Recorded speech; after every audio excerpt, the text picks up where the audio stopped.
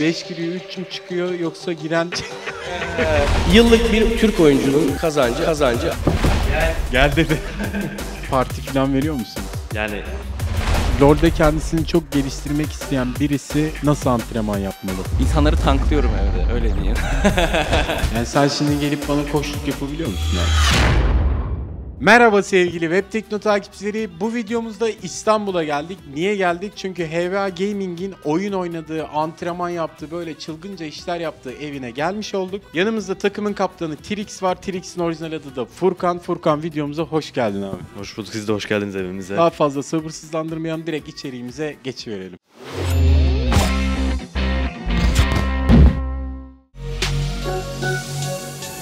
Evet şu an bir LoL haritası var karşımızda abi. Ne çalışıyoruz abi bu haritada? İşte ne tarafa oynayacağımız, nereye ağırlık vereceğimiz, görüşlerimizin ne tarafa olacağını burada belirliyoruz. Koçumuzla beraber işaretliyor kalemlerle. Burası da oyunun oynandığı alan. Şu an bayağı ciddi bir antrenman yapılıyor. Burada tıkır tıkır tıkır tıkır sesinden geçilmiyor. Şu an herkes birbiriyle mi oynuyor yoksa öyle solo takılıyorlar? Kalkış saatinden 4'e kadar da tekli antrenmanlarını yapıyorlar. Kaç saat oynuyorsunuz abi bir günde? Mesai saati diyeyim çünkü biz burada bir işçiyiz. Saat 11'de kalkıyoruz, akşam 12'de bitiyor. Arada bir yemek molasıdır işte, ilkler sohbetler oluyor. Abi şimdi sen mesaide izledin ya yani haftanın bir günde tatiliniz var demek oluyor. Bu hangi gün ne yapıyorsunuz? Cumartesi, pazar, pazartesi ofise gidiyoruz. Yani maçların oynandığı günler onlar. Salı günü genelde tatilimiz oluyor. İsteyen dışarı çıkıyor, kız arkadaşıyla buluşuyor. İsteyen başka oyunlar oynuyor evde. Abi şimdi bu kadar erkek bir eve toplanmışsınız ya burada hiç parti falan veriyor musunuz? Partide çok açmayayım da bazı şeyler oluyor. Şimdi mutfağa geldik abi. Bizim de bir ablamız var. Sizin de bir ablanız var. Ya ikinci bir anne onlar bizler için. 11'de kalkış, 12'den sonra kahvaltıya oturmak yasak. Dağılma olmasın, aynı anda bitirelim, aynı anda antrenmanlarımıza yönelelim diye belli bir saatler koyduk. Gezimize devam edelim. Şu an evin koridorundayız. Burada girilmez no entry diyor. Bu ne bu? Quest mi abi?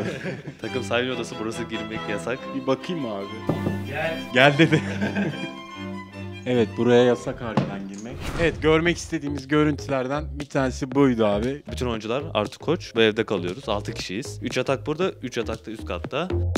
Evet şimdi kupalara geldik. Bir tanesi 2017 Wolf Team Türkiye Kupası. Tebrik ediyorum abi sizi. Wolf Team takımımız ellerinden geleni yaptı. Birinci oldular turnuvada. Ekim 2012 Türkiye Şampiyonluğu Kupası var. Bu League of Legends'ın ilk Türkiye şampiyonası. Farklı oyuncular vardı ama ilk şampiyon biz olmuştuk eyvallah. Trix şimdi bizi terasa getirdim. Burası için bir sosyal faaliyet alanı diyebilir miyiz? Mangallar, fangallar. Ya mangal yapıyoruz hafta sonları bazen. Çayımızı alıp buraya geliyoruz. Ayaklarımızı uzatıyoruz böyle manzara. Genelde geceleri çıkıyoruz buraya. Geceleri çok güzel oluyor. Bu oyuncu ekipmanlarının olayı nedir? Bu ışıklı klavyeler, inanılmaz şekil, koltuklar. Ya ürünler oyuncu ürünleri. Yani hem daha konforlu hem de profesyonel anlamda daha işlevsel oluyor. Yani el terlemesi olsun, kulaklıkların rahatlık olması açısından olsun, koltuklar rahat mı? E, klavye mouse'da tepkime süreleri bizim için çok önemli. Bu yüzden mekanik klavyeler ve mouse'lar kullanıyoruz. E, 0.5 saniye bile bizim için çok büyük kayıplara neden olabiliyor bazen oyuna. Öyle biliyoruz. Bu mousepad'ler niye böyle büyük büyük abisin? Onlar da biraz pahalı diye biliyorum ben ama. Ya bazı mousepad'ler klavyeyi bile kaplıyor hani. Bizimki orta boy. Üst düzeyinin mouse'u kaygan olması lazım. Yani kaliteli bir ürün olması gerekiyor. O yüzden bu mousepad'leri kullanıyoruz.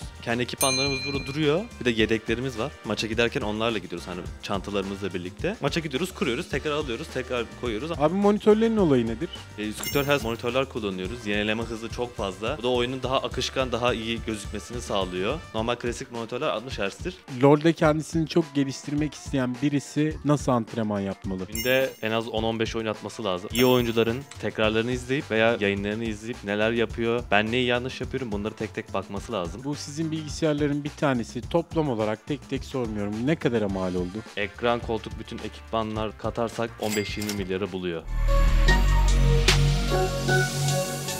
Ben destek oyuncusuyum HVA takımında. Manj rolünde oynuyorum. Destek diyebiliriz benim rolüm. HVA Gaming'de üst koridor oyuncusu olarak oynuyorum. I'm the mid lane for HWA Gaming. My role in the team is uh, carry. They call me Little Eminem because of my clothing. Like I wear like pants like this and hoodies. Thresh, Tam Kench, Braum. Ya bu üç şampiyonu seviyorum oynamayı. Camille, Jax tarzı, Renekton tarzı hero'ları daha çok seviyorum yani. I think the US server is way better than the Turkish server because people don't take it like professional. They just play the game for fun. Tank diyorum ben. İnsanları tanklıyorum evde öyle diyeyim.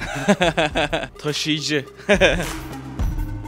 Senin pozisyonunda şeyi çok merak ediyorum abi. Yani bu e-spor işinde koçlar tam olarak ne yapıyorlar? takıma çeki düzen veriyor. Nasıl çalışmaları gerektiğine göre yönlendirmeler yapıyor. Yani sen şimdi gelip bana koçluk yapabiliyor musun abi? Yoksa senin de profesyonel oyuncuya mı ihtiyacın var yani? Hani hiçbir şey bilmeyen adama yardım edemeyiz. Koçun anlık müdahaleleri oluyor mu yoksa o iş kaptanda mı abi? Bizim takımda herkes burada görev alıyor. Yaklaşık bir hafta önceden taktiklerimiz belli olmuş oluyor ama ayrıca diğer taktiklerimiz de var. Bu iş bir heves işi mi yoksa bu bir meslek mi abi? Yani bunu biraz bize anlatabilir misin? Şöyle söyleyeyim bu bir meslek değil aslında. Bir hevesle başladık biz. Takım kurmak isteyenler falan varsa yani bu, o biraz geç kalındı gibi geliyor bana artık. Çok değerli markalar bu işin içine soyundu, girmeye başladılar. Ve yüksek bütçelerle bir de. Bizim belki bir yıllık bütçelerimizi bir oyuncuya verebilecek rakamlarla geliyorlar. 2006'dan beri buradayız diye hala tutunabiliyoruz. Tecrübenin vermiş olduğu avantajlardan dolayı. Ama yeni girecekler ya çok büyük parası varsa girecek ya da hiç bulaşmasın diyebilirim yani. 5 giriyor 3 mü çıkıyor yoksa giren bir giriyor 20 çıkıyor falan diyebiliriz. Yani bu benim tek işim değil. Ve tek işim olsaydı aç kalırdım onu söyleyebilirim. Yıllık bir Türk oyuncunun kazancı aşağı yukarı 60-70 bin liradan başlar. Yukarı doğru çıkar. Bizim oyuncularımız okuyor bu arada. Mesela bırakmak isteyen oldu ben yasaklıyorum. Erken yaşta yüksek paraları elde etmeye başladığı zaman okul umurlarına gelmiyor. Ama 30 yaşına geldiği zaman vay benim halime diyebilecekler. Üniversitesinde kazansın sonra gelsin. Başımızın üstünde yeri var yani. Menajer hem oyun tarafında hem şirket tarafında bütün koordinasyonları sağlayan rol aslında. bu takımın gelir modeli nedir abi? E-spor, futbol,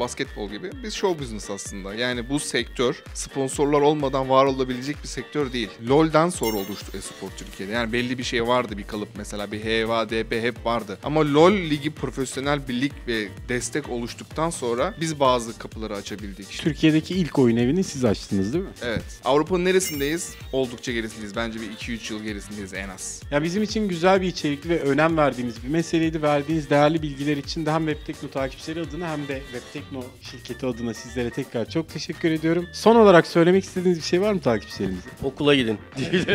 Bizim kitlemiz olup bu sektörü tam bilmeyenler için de bilgilendirici oldu. Bize teşekkür ederiz. Arkadaşlar sizler de videomuzu beğendiyseniz şurada bundan beğen butonuna basmayı ve aklınıza takılan herhangi bir şeyi bizlere yorum bölümünden sormayı unutmayın. Ayrıca HVA Gaming'in Twitter hesabını aşağıda paylaştık. Onu da takip ederseniz seviniriz. Hem de bu güzel takıma destek vermiş olursunuz. Başka bir Web Tekno videosunda görüşmek üzere. Hoşçakalın arkadaşlar.